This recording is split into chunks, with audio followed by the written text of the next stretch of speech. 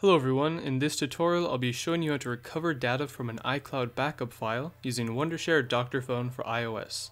The first step of course is to launch the program, and then we're going to go down to this Recover from iCloud Backup File tab, and then we're going to sign into iCloud, and once you've logged in you'll see all of the iCloud backup files. I have one right here already downloaded, so I'm going to go ahead and scan it by clicking here and it's going to scan through that backup file. And now that all of that has been scanned, it will bring up all of the files it found. We can actually go into the folder structures it's created and view the images or videos etc that it's found. And to recover these, all we have to do is select the ones we want, click on recover to computer, select a file location, and click on recover. And now all of those files will be saved onto your computer and backed up.